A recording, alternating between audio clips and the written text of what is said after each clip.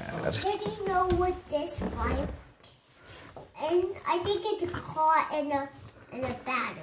I think it's no ordinary car. I think it's a Monster. monster truck. But no, we have to say not the thing. And I thought we have to say not the Oh no, I fell, yeah, Daddy. that's not good. Maybe it didn't crack open. I think that that could be the Okay. And this could be the car's hideout.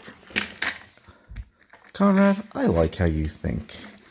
So first we could put the car and then the battery. Okay, good thinking. And then that. And then that could be like that.